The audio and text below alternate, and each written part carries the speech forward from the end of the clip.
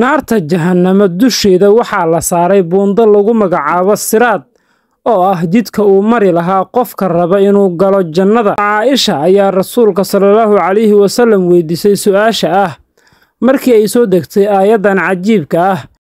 Maalin lagu beddeli doono dhulka dhul kale iyo samooyinkana lagu beddeli doono samooyin kale.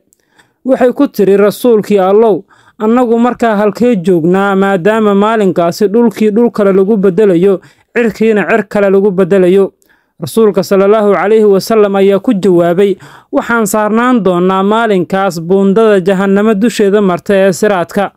Wakhtiga aan dul saarannahay siraadka dushiisa dhulka iyo cirkana la beddelayo marka ayada ah keliya saddex goob ayaa bannaan. Waxayna kala yihiin jahannamo jidka siraadka iyo jannada.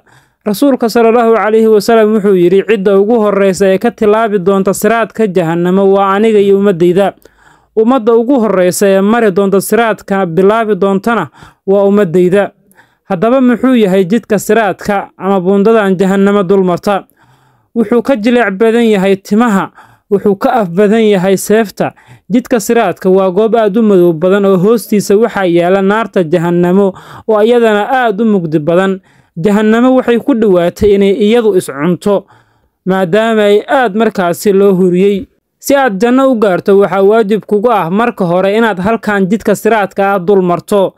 Haddaad ka gudubto waxaad toos u arki doontaa daarihii jannada laakiin yaa ka gudbi kara ma isweydiisay.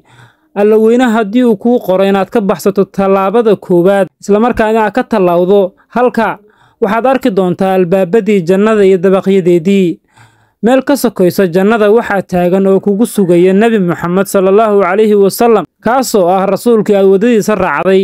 Ceeb ayay kugu tahay inaad muuqaalkan gaarsiin weyso dadka si markaasi ay ugu baraarugaan khatarta maalinka qiyaamo. Haddii aad u baahan tahay in laguu xayeysiiyo goob ganacsi ama badeeco fadlan nagala soo xiriir lambarka shaashadda kaaga muuqda. Mahadsanid